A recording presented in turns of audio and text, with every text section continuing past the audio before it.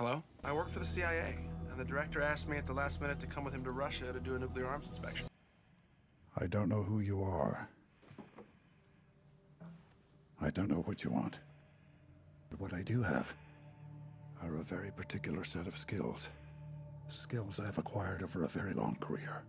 Skills that make me a nightmare for people like you. I will look for you. I will find you.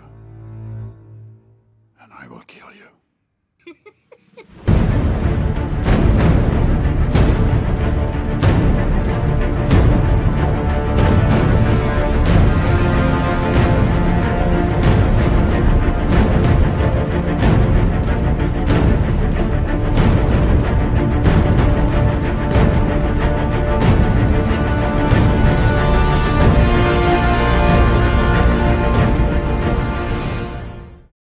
I will look for you.